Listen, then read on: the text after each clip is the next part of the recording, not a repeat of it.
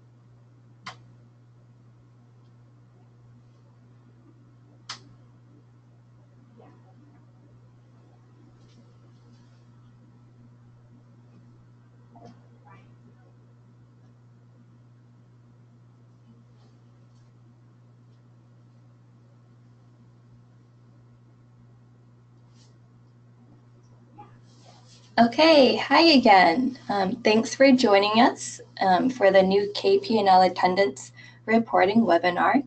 Welcome. This is Kim speaking. I'm a new family engagement specialist that's joined the team recently in the past few months. And with me is Wisteria Oliver, who you all know, I think. Yeah, hi everyone. um, so uh, you should have already received some emails about changes in attendance reporting, but we just wanted to provide this webinar as well as a space to go into a little bit more detail, but also give you all a chance to ask questions if you have any. So as always, the webinar will, the webinar will be posted on YouTube after, and we will send you the link um, when it is done. So if you want to watch it again or send it to anyone else, you can do that. Um, so we're going to begin with some objectives. Just one moment. If you can't see the PowerPoint screen, go ahead and send us a message, but you should be able to see it. Um, all right, so what are the objectives for today? We want everyone to understand how the attendance reporting procedure has changed and know how to accurately, accurately report attendance. So those are our two main goals. Why is this important? Um, at CCR, we have to track the number of children and caregivers who attend KP&L to provide to our funders, and with accurate attendance, you can better understand the impact KP&L has. And next, Wisteria will talk a little bit about um, the required changes. Okay, so hi everybody. Um, so first I just wanted to say, um, you know, why we're making these changes at this time. Um, it's definitely better to have more complete data um, and collecting more detail in our attendance numbers and you know where families and children and their caregivers are showing up um, will allow us more flexibility in reporting. Um, in the past, we haven't had a ton of capacity uh, to collect and track um, a high level of detail with this. We try our best, um, but now we're actually in the process of developing a database to help us with our um, kaleidoscope work and our FFN work. So we're going to have a lot more capacity um, to get a lot more detail and also um, get some better numbers and a more accurate picture of you know where um, kids and their caregivers are um, throughout both the county and the state. Um, so the changes are that um, we will now be collecting participant counts of individual groups instead of um, combined by organization. So um, for example, if your organization has four monthly groups that you all host, um, we will be collecting four um, attendance count or attendance reports um, instead of one report uh, combined for your whole organization. Um, and this, so obviously this change is only going to affect organizations that offer more than one kaleidoscope group. Um, organizations that only offer one, they're going to be reporting just the same.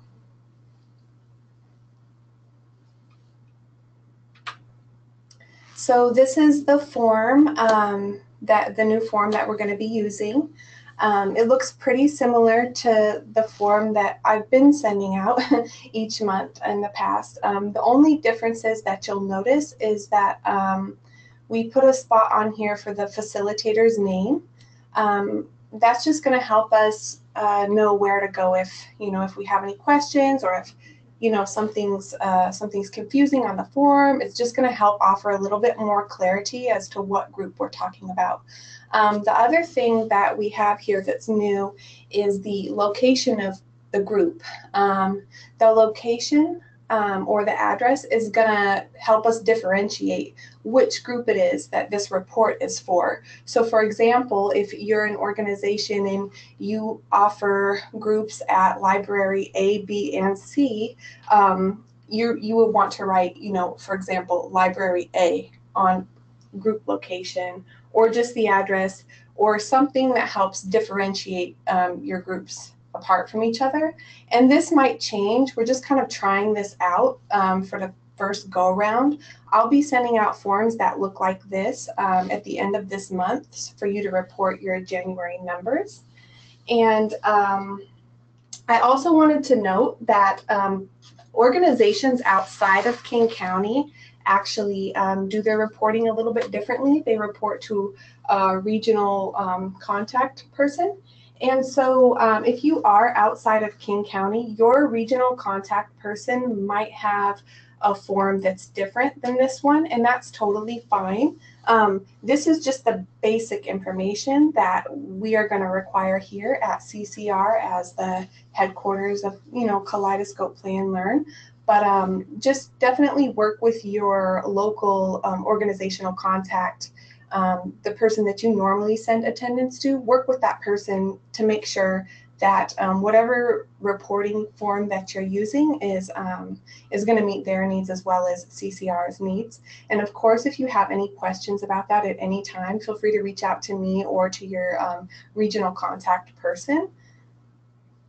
Um, and then another thing I wanted to mention is some organizations, they offer a lot of groups. We do have uh, one affiliate organization who offers 20 groups, and um, it would be a lot to send in 20 of these it'd be a lot for you know the organization to do that and it'd be a lot for me to receive 20 of these from one organization. So um, if you are one of those organizations that's offering several groups in the community um, feel free to check in with me about a different way to do your reporting because i believe we could uh, make some accommodations for those organizations that um, offer several groups every month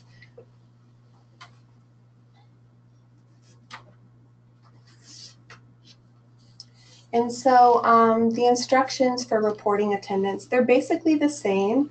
Um, we're counting the, uh, the number of FFN caregivers. We're counting the number of parents. We're counting um, the number of people who come who are bringing both their own children and um, somebody else's children, you know, serving as a FFN provider for somebody else. And we're counting the number of children who are um, under six years old as well. Um, so everybody has been doing a really good job of reporting attendance thus far. Um, but we just wanted to provide this uh, kind of recap or refresher of the different categories that are going to be captured in our reporting. And um, we also we also want to get unduplicated counts. So we need to know each month when you're reporting your attendance if um, if somebody is brand new to Kaleidoscope or if they're a returning um, patron of the group. And um, we have some examples here. So, for example, a person who is new this month, that would be participants who started attending during the current month. So, for example, if Sarah started attending August 15th, 2017, she would be counted as new for August. And then an example for a returning family or a returning person at the group means a participant who started attending any time before the current month. Um, so for example, Sarah from our, from our last example who started in August, if she attends again in September, she's now going to be counted as uh, returning in September and going forward. And so um, at this point, I'll just quickly stop and see if anyone has any questions about any of this. And um, if you do have any questions, feel free to type them into the chat or the question box, or you can simply take your phone or device off mute and just speak.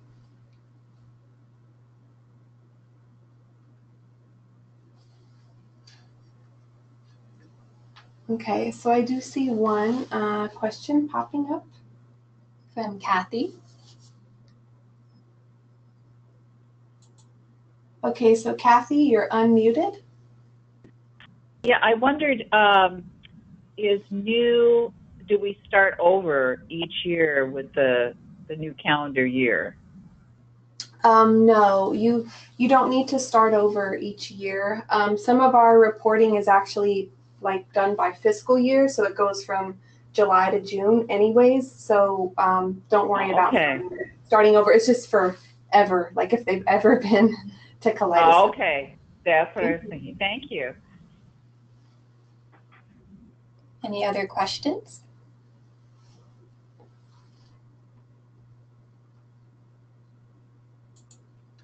Okay, we'll continue.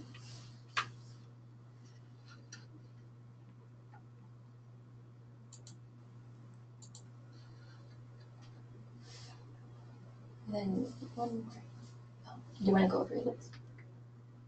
Um, so yeah, this is just kind of what we were talking about and what um, Kathy's question was about, just um, new versus returning, and um, that's and we keep track of new versus returning so we can get that unduplicated number and accurately report and know how many um, children and families and caregivers we're impacting.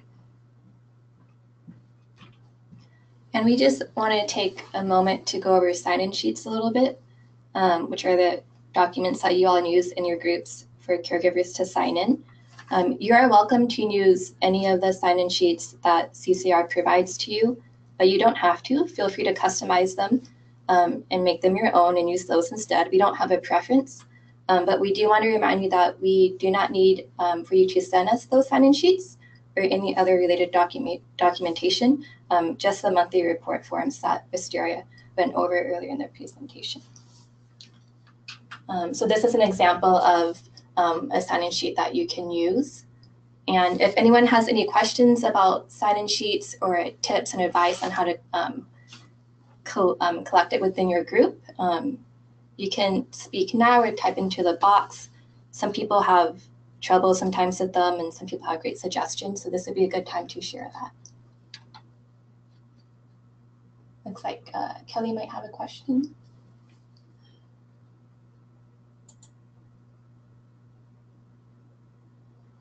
Okay, and it looks like Kelly has asked um, if families attend both locations, are they counted as returning? Um, I believe the guidance that we've given for this is that um, no, they would not be accounted as returning because, um, so Kelly, for example, if you offer a group in your North Campus and then you offer a group in your South Campus, um, we're just going to count um, the the new versus returning or the amount of times the family has been to uh, one of the locations. So um, sorry if I sound confusing. Um, so basically, they might end up being counted twice. Um, you know, if you're offering groups in several locations, but that's okay. We're just trying to get the numbers as close as we can. And um, I think overall, um, the amount of people attending Kaleidoscope is underreported, anyways. So I'm, you know, we're kind of just have decided that if um, if families are attending groups at multiple locations throughout the community, they might get counted twice, but it will probably equal out in the end because overall, um, we believe that it's underreported. So that's a great question, and it's not perfect, but um, I, I think it's the best we can do at this point.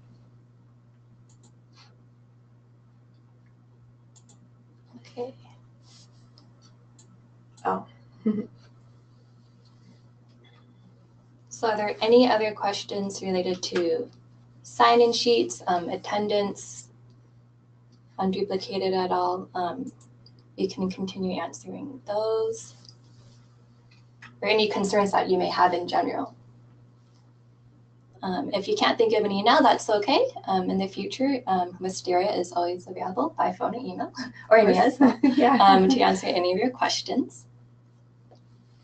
And thank you for attending the webinar, and we look forward to working with you in the future. Thanks, everyone. Um, you'll be you'll you should be receiving an email from me shortly with the new forms. Um, and thank you for tuning in. And we will um, send a recording of this webinar out later on. And if anything does come up later or that you forgot to ask, just feel free to check in with us. Right, bye.